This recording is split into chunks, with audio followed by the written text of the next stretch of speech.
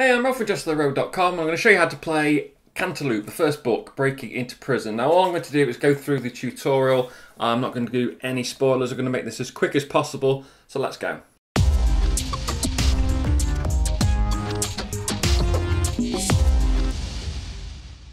So, if, in case you didn't know, Cantaloop, the playable thriller, is an interactive adventure. It mimics a point and click game that you got in the video games like Broken Sword, which is my favourite for example. So remember to move the mouse and point and click on the subscribe button. Just get that in before we go. Let's get into the book. Okay, on the inside cover you get these three little pockets that hold the cards. I'm not going to show them, I'm just going to show you what they look like on the back there. I'm going to ignore what that is because that's part of the game, but I'm going to go through what these things are because those are covered in the tutorial. And the game works around encrypted text that you read with this red filter. For example, you've got this paragraph here that shows you the example of how it works and you just put it over and you can see it now says easy as pie basically. Good, continue with the tutorial. You also get to use some item cards. So here you can see the tutorial says get cards 12 and 38. Here is 12 and 38, which are the cell phone and the magnifying glass. And we'll see how to use those in a bit, but the next part of the tutorial covers interacting with simple objects. You can see here that you're looking in the, the rear view mirror of your car and it says X5, Z2. So then you've got the two options here, which will be on the page in the book as you're playing. And you put the one over X, uh, 5Z2, that's the correct one. It'll tell you what you need to do. And this, this tutorials are great because if you do put it on the wrong one, it will let you know why you're wrong. And it also gives you an example of how you use your items. So you can see your magnifying glass item allows you to inspect, talk, and use. That's quite important. It's not just for looking at things, it's also for talking to things and using things. What you do is you put them so that they level with the item you're looking at. In this tutorial here, you're looking at your cigarette lighter of your car, and you line them up like this, you can see that is now R5, P5. And you can see here R5, P5, you'll cover that over and you'll get to inspect the cigarette lighter. And what they've done here is they've made it so that if you put the arrow to the arrow, which you're not supposed to do, it will show you X1, V4, and you can put that over the top and it will tell you why you're wrong. Very good tutorial.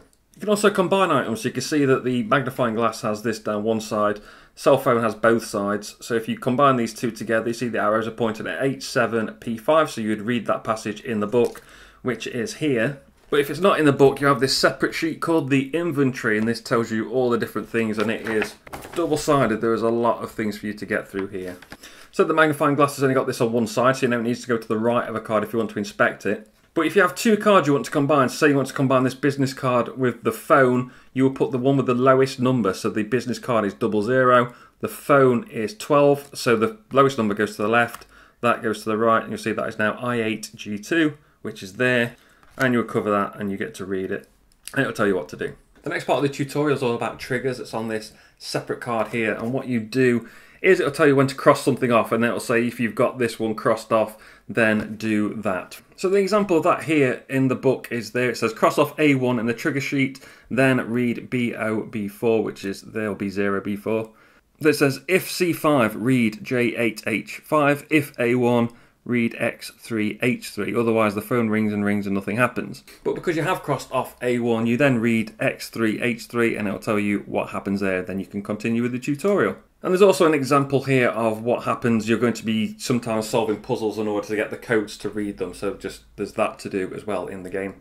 And then a lot of the game is done through dialogue with characters as well, which is all very funny. So there you go. In Cantaloop, you're going to be going to different locations, seeing different things, talking to different people, solving some puzzles, using your decoder to check out all the different things you can do and continue your adventure from there. So I hope if you don't know how the game plays, that's basically it. The anything else I'll tell you will be a spoiler. So hopefully you enjoy it. Thanks for watching. Remember to like, share, and subscribe. You can follow me on Twitter, Insta, Twitch, and YouTube at JestaThaRogue. You can subscribe up there. There's a video for you there to watch. This has been as quick as it could possibly be. This is great, and I'll see you later.